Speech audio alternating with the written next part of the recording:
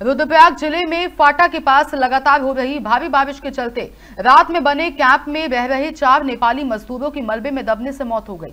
जिला आपदा प्रबंधन अधिकारी नंदन सिंह रजवार और पुलिस मीडिया सेल से मिली जानकारी के अनुसार घटना की सूचना मिलते ही राहत और बचाव कार्य के लिए बचाव टीमें मौके पर पहुँच गई और सभी टीमों ने आपसी समन्वय से मलबे में दबे लोगों को निकालने का काम किया। काफ़ी मशक्कत के बाद मलबे में दबे लोगों को निकाल लिया गया है और सभी अचेत अवस्था में मिले हैं। जानकारी के अनुसार सभी लोग नेपाल राष्ट्र के निवासी हैं। इनकी पहचान तुल बहादुर पोबड़ा कृष्णा परिहार और दीपक के रूप में हुई है। इनके शवों को जिला अस्पताल भेजा जा रहा है। रेस्क्यू में एसडीआरएफ, डीजीआरएफ और जिला पुलिस के संयुक्त जवान शामिल थे। रुद्रप्रयाग से सत्यपाल नेगी की रिपोर्ट।